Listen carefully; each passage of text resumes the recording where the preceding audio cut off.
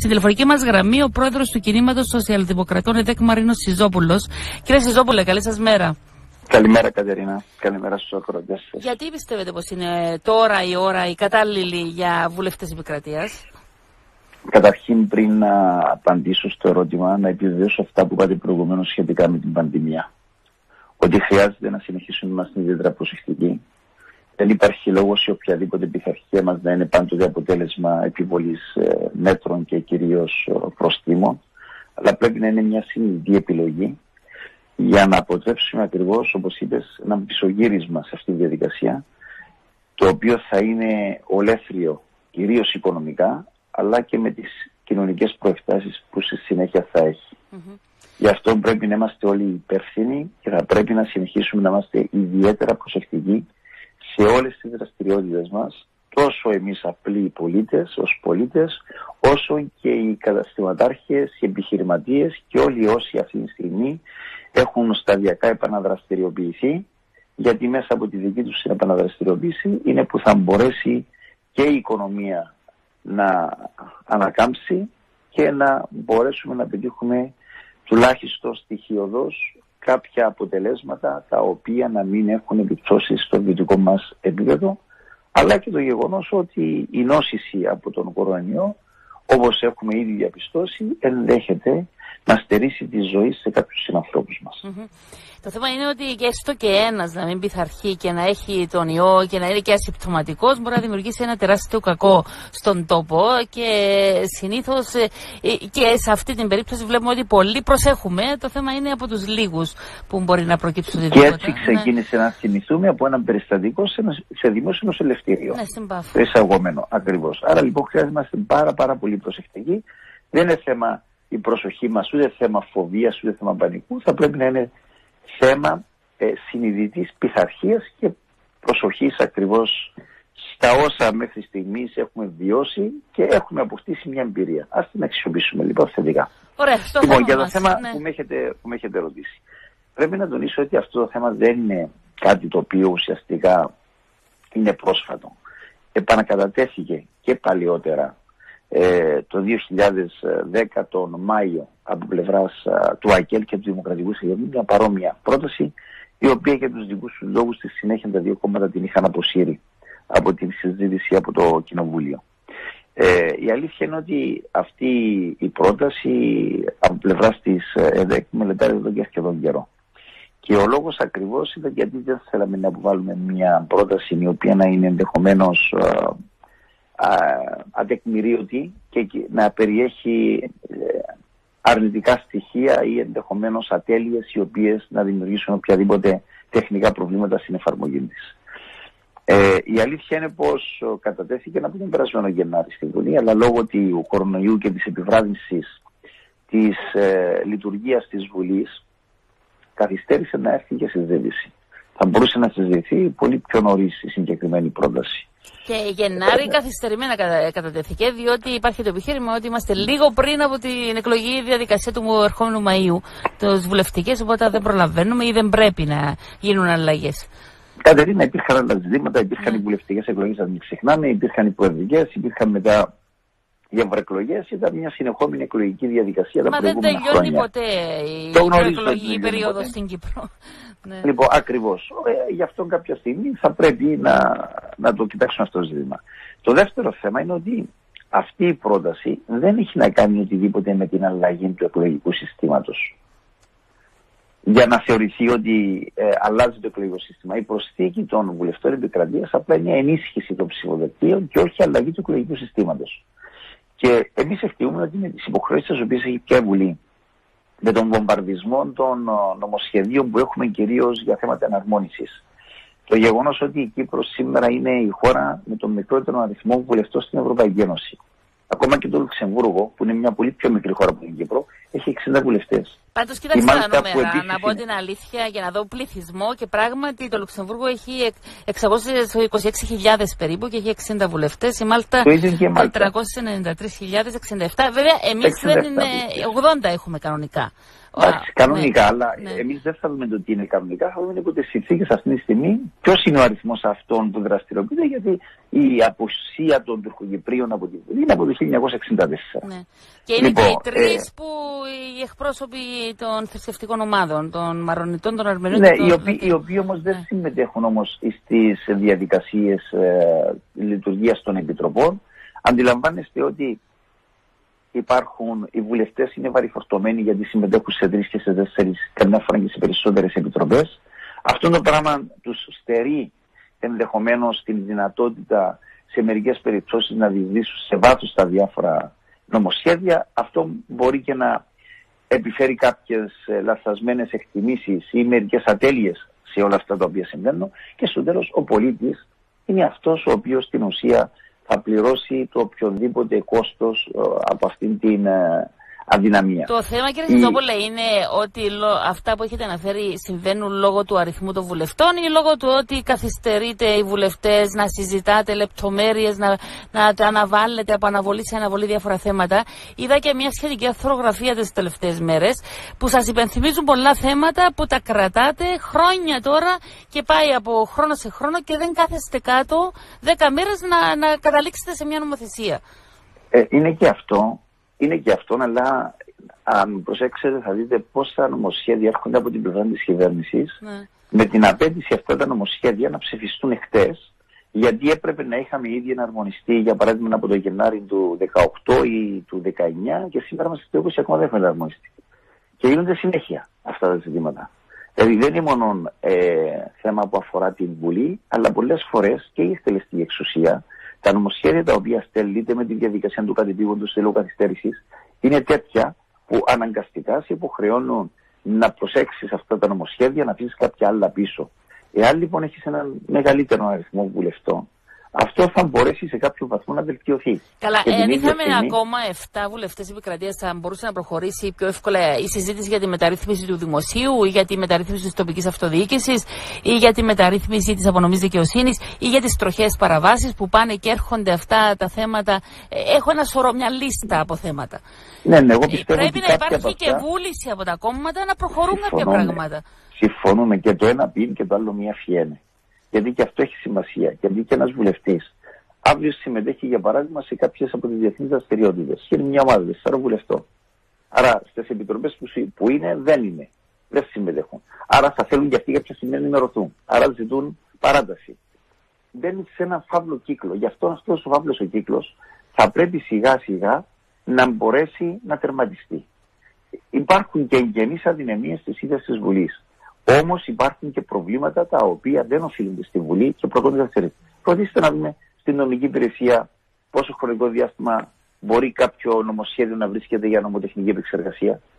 Δέστε ακριβώς αυτό που σας είπα προηγουμένως, σε πόσες περιπτώσεις η Βουλή. Προχθές είχαμε θέμα που συζητούσαμε στην Επιτροπή Εσωτερικών, γιατί έπρεπε από το 2018 να είχε υποτίθεται ψηφιστεί για να γίνει αναρμόνιση και ήρθε τώρα το νομοσχέδιο και πρέπει για να μην πληρώσει πρόστιμο η Κυπριακή Δημοκρατία με συνοπτικέ διαδικασίες μέσα σε μερικές ημέρες, ας πούμε, πρέπει να, να μελετηθεί, να συζητηθεί και να ψηφιστεί. Ναι.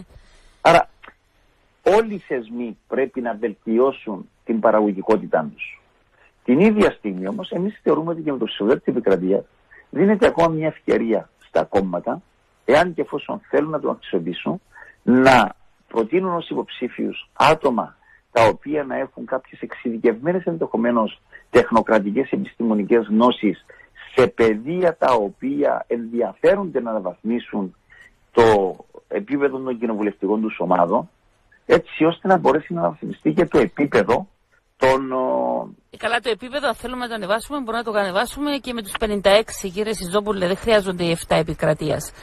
Ναι, κοιτάξτε, σίγουρα όλα παίζουν ρόλο. Ναι. Αλλά το να έχω αυτή τη στιγμή τη δυνατότητα να προσθέσω στους βουλευτές μου και κάποιους ε, επιστήμονες εξειδικευμένους οι οποίοι ενδεχομένως. Τι θα έχει, θα είναι γραμμένο κάτω ότι οι επικρατείες θα είναι επιστήμονες εξειδικευμένοι; Όχι, εδώ είναι ακριβώς επαφίεται στο κάθε κόμμα τι υποψηφίους θα αξιοποιήσει προς αυτήν την κατεύθυνση.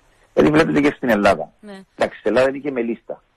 Αυτό γίνεται. Ε, και η επικρατεία δεν θα είναι με λίστα; Ε, όχι. Η επικρατεία εμείς, επειδή είναι μικρός ο αριθμός, είπαμε ότι η πρόταση δική μας είναι ότι δεν θα είναι με λίστα. Αν η πλειοψηφία αποφασίσει να κάνει την τροπολογία και να είναι με λίστα, εμείς έχουμε πει ότι πρέπει να είναι σταυρό προτίμησης. Ε, Πάντως έρχονται μηνύματα ότι φοβάται η ΕΔΕΚ ότι δεν θα εκλέξει βουλευτές, γι' αυτό θέλει να αυξήσει. ή θα εκλέξει λίγους βουλευτές, λέει άλλος ακροατής, γι' αυτό θέλει να αυξήσει τον αριθμό των βουλευτών. Και ένας άλλος ακροατής λέει ότι καλά προτεραιότητα μέσα σε αυτή την κρίση είναι να αυξήσουμε τα ποσά που θα πηγαίνουν σε βουλευτές, αντί να αυξήσουμε τα ποσά, την ενίσχυση το, του, του κόσμου των εργαζομένων. Ναι, θα πρέπει να τονίσουμε ότι το κόστος από τους 7 βουλευτές είναι απειροελάχιστο, που δεν επηρεάζει καθόλου ούτε τις κοινωνικές παροχές ούτε οτιδήποτε. Αν τώρα ήταν 20, θα πούνε ναι, θα ήταν ένα σημαντικό κόστος. Ναι. Οι 7 δεν έχουν να επηρεάσουν τίποτε. Και αυτό ακριβώς δεν είναι δικαιολογία να Μα οι 7 θα έχουν και συνεργάτες, θέλουν και γραφεία, θέλουν... Είναι, είναι, δεν είναι 7 είναι, μόνο είναι, είναι, ναι. είναι, είναι μελετημένα. Ε, το κόστος αυτό δεν θα ξεπεράσει περίπου τις 400.000 το χρόνο. Μισό εκατομμύριο. Λοιπόν, ναι. λοιπόν το, το δεύτερο. Εντάξει. Αυτό το παραμύθι είναι ότι φοβάται η ΔΕΚ ότι θα εκλέξει βουλευτές. Θα κάνω λίγο υπομονή. Το ίδιο μας έλεγαν και με την Ευρωβουλή. Ναι. Λοιπόν, το ίδιο μας έλεγαν και το 2016. Δεν έχει καμία σημασία. Και θα το δούμε. Αυτά είναι απλά κάποιες δικαιολογίες για να προβάλλει ο καθένας αυτόν το επιχείρημα το οποίο θέλει. Φοβάται. Η ΔΕΚ δεν φοβάται. Και θα δείτε πάρα πολύ καλά, παρά το γεγονός ότι ξεκίνησαν και πάλι να βλέπουν το φως της δημοσιότητας στις τιμένε δημοσκοπήσεις, ότι η ΔΕΚ είναι 1%. Εντάξει. Έπρεπε να αυτοί που έβγαζαν τις προηγούμενες... Ε, ε, ε, το στιμένες δημοσκοπήσεις είναι πολύ βαριά κουβέντα για, αυτοί που, για αυτούς είναι που... Στιμένες, ναι. Είναι στιμένες δημοσκοπήσεις και εδώ ακριβώς θα έπρεπε να ληφθούν μέτρα. Δεν μπορεί μια εταιρεία για 1,5 ολόκληρο χρόνο να βγάζει δημοσκοπήσεις ότι ένα κόμμα είναι 1% είναι 1%, 1% και το κόμμα αυτό να πιάνει 11%. Ναι. Ε, ε, αν είναι με στάθμιση, χωρίς στάθμιση, ε, ε, υπάρχουν λοιπόν, και. Ναι, κάποιος πρέπει να λοιπόν, διαβάσει. Για, ναι, γι' αυτό, τα... ναι, γι αυτό ακριβώς ναι. είναι στημένες οι δημοσκόπησει αυτές. Ναι. Το να μου πεις, ξέρεις ότι ξέρεις, θα πάρεις 4% και να πάρω 6% το καταλαβαίνω. Εντάξει, ή να μου πεις ότι θα πάρω 8% και θα πάρω 6% και πάλι το καταλαβαίνω. Αλλά συστηματικά να προβάλλεις δημοσκοπήσεις ότι είσαι 1% έναν κόμμα και αυτό το κόμμα τελικά να παίρνει 11% ε, αντιλαμβάνεστε ότι αυτό πια δεν είναι μια αποτυχημένη δημοσκόπηση. Είναι μια στημένη δημοσκόπηση. Γιατί ε, δεν ήταν μια φορά που είδε το φως της δημοσιότητας, ήταν τέσσερις φορές που είδε το φως της δημοσιότητας. Mm. Είδε τον το Μάη του 18, το είδε στη συνέχεια το Σεπτέμβρη του 18, τον Νοέμβρη του 18, μέχρι και τον Φλεβάρι του 19. Καλά, ε, λοιπόν, ε, δηλαδή δε, δε, ε, αυτό το πράγμα είναι ένα φαινόμενο που συμβαίνει σε όλο τον κόσμο σε σχέση. Η δημοσκόπηση προβλέπει, δεν είναι και είναι αποτυπώνει τη στιγμή. Το ότι αλλάζουν τα πράγματα, γι' αυτό είναι και μυστική ψηφοφορία. Ναι. Επιτρέψτε, και... μου, ναι. επιτρέψτε μου να πω ότι δεν μπορείς να είσαι 110% έξω από το στόχο σου. Ναι. Συγγνώμη, 1100 έξω από το στόχο σου. Τότε σημαίνει ότι επιστημονικά αυτοί που την έκαναν είναι ανεπαρκείς. Ναι. Καλά, ήταν και, αν μιλάτε για τις ευρωεκλογές, ήταν και οι βιάζουσε συνθήκες. Θυμάστε ότι έγινε ένας αγώνας δρόμου για να μην μπει κάποιος άλλος ευρωβουλευτής στη Βουλή και να μπει δικός σας ευρωβουλευτής. Δεν έχει καμία σημασία. Είχε μεγάλη σημασία γιατί την τελευταία εβδομάδα έγινε αυτή η κινητοποίηση. Κατε, κατε, Κατερίνα ναι. μου, αυτά τα πράγματα είναι παραμύθια. Ναι. Έγινε την τελευταία εβδομάδα και έγινε την τελευταία εβδομάδα. Σιγά από την τελευταία εβδομάδα. Ναι. Η ΕΔΕΚ, ας πούμε, στις βουλευτικές εκλογές, τι ήταν το ποσοστό της; Στις δημοτικές εκλογές, ποιο ήταν το ποσοστό της; Εντάξει, το καταλαβαίνω το να είσαι μια, έχεις μια απόκληση 2%, να είστε και 3% να το καταλάβω. Το να έχεις όμως συστηματικά μια απόκληση 10%, ε, αυτό δεν μπορώ να το καταλάβω. Ναι. Άρα λοιπόν επιτρέψτε μου να πω, ή αυτοί που την έχουν κάνει είναι ανίδεοι, ή εξυπηρετούν σκοπιμότητες ή και τα δύο. Mm-hmm. Ε, δεν μπορεί συστηματικά, πούμε, γιατί δεν ήταν μια μια δημοσκόπηση. Μπορείτε να κάνετε καταγγελία όμως στον κλάδο τους. Στο... Δεν θα ασχοληθώ, ναι, ναι, Κατερίνα. Ναι. Εγώ δεν θα ασχοληθώ. Εγώ τους αφήνω να θα ασχοληθώ με αυτά τα ναι. ζητήματα. Ναι. Ήδη ξεφτελίζονται. Mm-hmm. Και ξαφνικά τώρα θυμούνται, τώρα το Μάιο του 2000, να ξαναβγάλουν δημοσκόπηση πάλι με την 10%. Ε, συνεχίσουν να το λέω. Ωραία, λοιπόν. επειδή βλέπω και το χρόνο να εξαντλείται, ε, ε, ρωτάνε οι ακροατές, εάν θέλετε, λέει, να ανεβάσετε το, την ποιότητα της δημοκρατίας στη Βουλή, πρέπει να βάλετε όριο θητιών. Διότι κάποιοι είναι πλέον επαγγελματίες βουλευτές και δεν ασκούν το λειτουργήμα του βουλευτή, αλλά το επάγγελμα του βουλευτή και δημιουργούνται και εξαρτήσεις που όλοι λίγο πολύ το ξέρουν, τις ξέρουμε, τις βλέπουμε. Λοιπόν, εμείς εμείς ω ΕΔΕΚ βλέπετε, και ήταν από τις πρώτες αποφάσεις που έλαβε η ΕΔΕΚ όταν έγινε πρόεδρος, έχουμε βάλει περιορισμούς στι θητείε και στα κομματικά μας αξιώματα και στα πολιτιακά μας αξιώματα. Δύο πενταετίες. Όσον αφορά τώρα το θέμα της. Αφορά και τον πρόεδρο της ΕΔΕΚ ή δύο πενταετίες; Βεβαίως αφορά και τον πρόεδρο της ΕΔΕΚ. Ναι. Βεβαίως. Και ήταν με δική μου πρόταση. Γιατί όλες οι προτάσεις τότε που κατατέθηκαν στο συνέδριο εξαιρούσαν τον πρόεδρο της ΕΔΕΚ. Η μόνη εξαίρεση την οποία έχει ο πρόεδρος της ΕΔΕΚ είναι στις δύο θητείες που θα είναι πρόεδρος, θα μπορεί να είναι και βουλευτής. Ναι.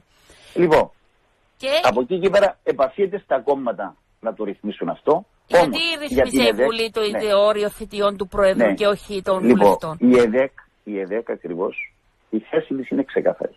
Ότι πρέπει να μπει όριο θητιών σε αυτούς που ασκούν εξουσία. Στον πρόεδρο της Δημοκρατίας που έγινε. Στους δημάρχους, ναι. Στους κοινοτάρχες, ναι. Όσον αφορά τους βουλευτές ή τους δημοτικούς συμβούλους ή τους κοινωνικούς συμβούλους, αυτό πια επαφίεται στα κόμματα να το αποφασίσουν και να βάλουν σε κομματικού Μα γιατί κάνετε αυτό το διαχωρισμό, Γιατί, γιατί δεν μπορείς δεν μπορείς τον βουλευτή, δεν μπορείς τον βουλευτή που είναι εκπρόσωπος του λαού να του στερήσεις αυτό το δικαίωμα. Καλά, ο εκπρόσωπος του λαού πόσα χρόνια χρειάζεται για να εκπροσωπήσεις σωστά το λαό, 25 χρόνια. Αυτό, αυτό θα αποφασίσει ο ίδιος ναι, ο λαός. Ναι. Εντάξει. Αλλά αυτοί που ασκούν εκτελεστική εξουσία, που ασκούν εξουσία. Σας λέω ότι ναι. δημιουργούνται εξαρτήσεις τέτοιες που στο τέλος ο λαός ε, έχει εξάρτηση και πάει και ψηφίζει. Για, για, να μην αρχίσουμε να λέμε τώρα. Κατερίνα τι, είναι, είναι, είναι, η θέση ναι. μας. Εμείς ως κόμμα το ναι. ρυθμίσαμε. Ναι. Α το ρυθμίσουν οι υπόλοιποι. Ναι. Εμείς δείξαμε ότι αυτή την αντίληψη των πολιτών τη σεβόμαστε και γι' αυτό ως κόμμα προχωρήσαμε και την υιοθετήσαμε. Και υπάρχει ένα άλλο ερώτημα. Αν θέλετε πραγματική δημοκρατία ε, να μειωθεί, να χαμηλώσει το όριο εισδοχής, λέει, το, μέσα στη Βουλή, διότι 3,6 θα μείνουν πολλά μικρά κόμματα εκτός. Επειδή ακριβώς και αυτό το ζήτημα, τώρα κάποιοι προβάλλουν τη δικαιολογία ότι ξέρεις, ε, μειώθηκε ο χρόνος μέχρι τις επόμενες βουλευτικές εκλογές κάτω από τους 12 μήνες. Άρα δεν πρέπει να συζητήσουμε αυτή τη στιγμή ε, αλλαγή δίθεν του εκλογικού νόμου για να μην ψηφιστεί και το θέμα των βουλευτών επικρατεία. Που εδώ είναι μια καθαρά πολιτική απόφαση. Να υπενθυμίσω ότι τον Οκτώβριο του 2015 η πλειοψηφία της Βουλής άλλαξε τον εκλογικό νόμο και μάλιστα ακριβώς πάνω σε ουσιαστικά ζητήματα. Άλλαξε τον εκλογικό νόμο στη βάση ε, του να γίνει το 1,8, 3,6 για την εισδοχή στη δεύτερη κατανομή και το 3,6 να γίνει 7,2 για την εισδοχή στην τρίτη κατανομή. Mm-hmm. Άρα λοιπόν και αυτό το επιχείρημα το οποίο με βάλουν κάποιοι θεωρώ ότι είναι ανυποστατό. Για την ΕΔΕΚ, και το έχουμε πει πάρα πολλές φορές, η λύση είναι η απόλυτη απλή αναλογική. Γιατί αυτό που έχουμε είναι ναι μεν σύστημα απλή αναλογή, αλλά δεν είναι η απόλυτη απλή αναλογή. Είναι γεγονός ότι το σύστημα αυτό θέτει σε δυσμενή θέση τους ανεξάρτητους υποψηφίους για μικρότερα κόμματα. Λοιπόν, γι' αυτόν ακριβώς τον λόγο και η δική μας η θέση είναι ότι η πρώτη και η δεύτερη κατανομή πρέπει να γίνονται στην εκλογική περιφέρεια.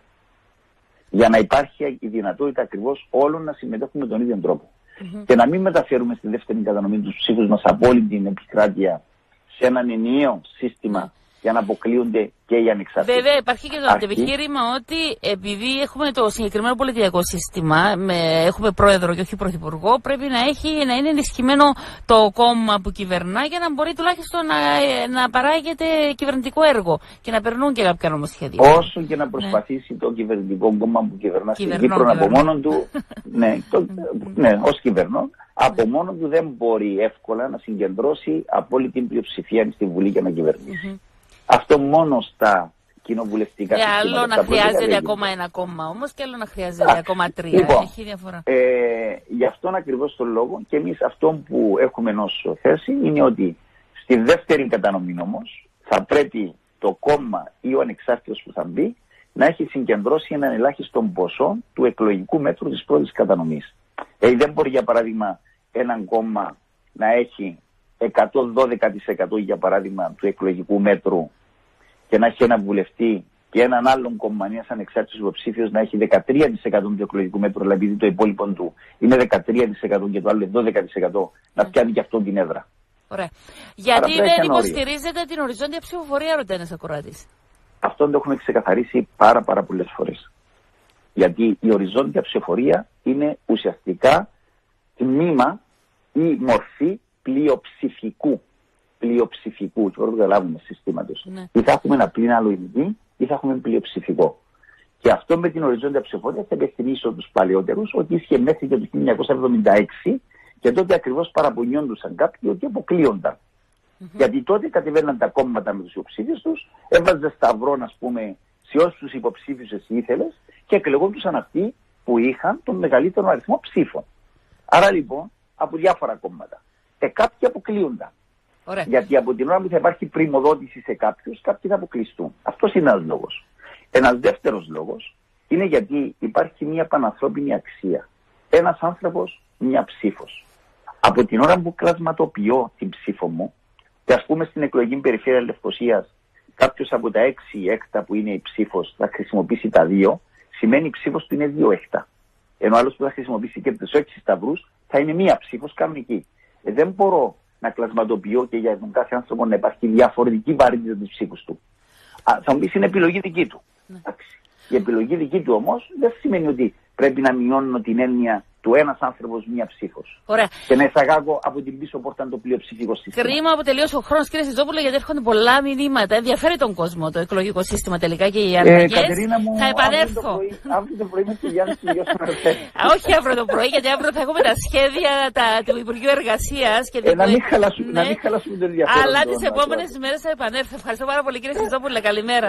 Εγώ σε ευχαριστώ και το εκτιμώ αυτό γιατί φαίνεται ότι ακριβώς αυτές οι αναλύσεις ναι. τις οποίες έχουμε κάνει και οι εξηγήσεις που έχουμε δώσει δημιουργούν ενδιαφέρον στους πολίτες. Ναι, και θέλουμε να και... μπούμε και, στο, και στην ουσία δηλαδή, στην ποιότητα της δημοκρατίας που έχουμε στον τόπο μας. Οπότε θα το οργανώσουμε τις επόμενες μέρες. Να είστε καλά. Καλημέρα, καλή συνέχεια. Καλημέρα.